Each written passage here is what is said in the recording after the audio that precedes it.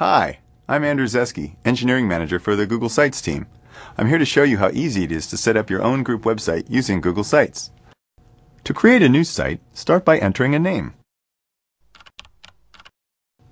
Select the level of sharing you would like for editing the site and whether you would like the site to be viewable to the public.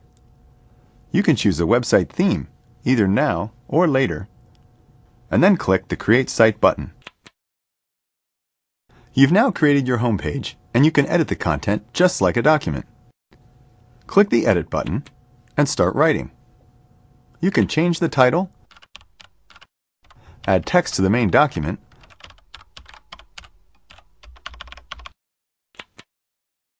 upload attachments, and even leave comments on the page. Use the toolbar above to change fonts and styles. Add links,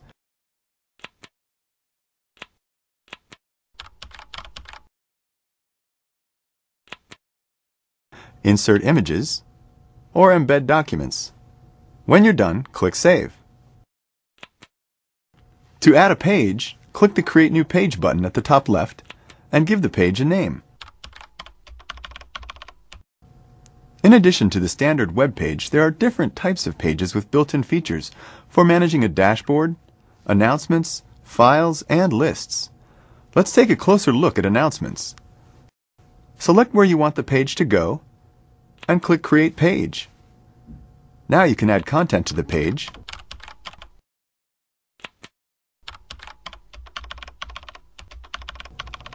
Then click Create Post.